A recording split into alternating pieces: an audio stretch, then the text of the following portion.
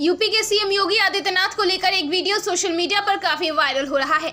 इस वीडियो में योगी को अपने माथे पर राख लगाते हुए देखा जा सकता है। इसे शेयर करने वाले लोग ऐसा कह रहे हैं कि सीएम योगी एक शहीद पुलिस कांस्टेबल की राख को अपने माथे पर लगा रहे हैं। लेकिन फैक्ट चेक में यह पाया गया है कि वायरल वीडियो साल 2022 की होली का है।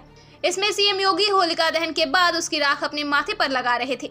कीवर्ड सर्च की मदद से ये वीडियो स्पीड मीडिया नेटवर्क नाम के एक फेसबुक पेज पर मार्च 2022 के एक पोस्ट में पाया गया है। इसमें वीडियो के साथ लिखा है, होलिका दहन के बाद का संस्कार को पालन कर, उसके राख को माथे लगाते गोरज पीठाधीश्वर महंत योगी आदित्यनाथ। बाईस मार्च 2022 के इस ट्वीट में उन्होंने लिखा है कि सीएम योगी आदित्यनाथ ने हिंदू धर्म की परंपरा का पालन करते हुए होलिका दहन के बाद उसकी राख को अपने माथे पर लगाया। साल 2022 में सीएम योगी होली के अवसर पर अपने गृह जनपद गोरखपुर गए थे। गोरखपुर का बाबा गोरखनाथ मंदिर भारत के प्राचीन मंदिरों में से एक है, जहाँ हर साल की तरह 2022 में भी सीएम योगी होली से जुड़े विशेष धार्मिक कार्यक्रमों में शामिल हुए थे।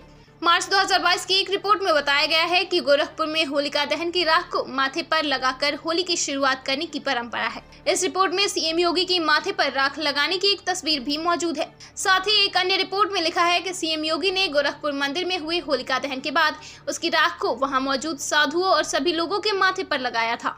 ब्यूरो रिपोर्ट, दिल्ली समाचार।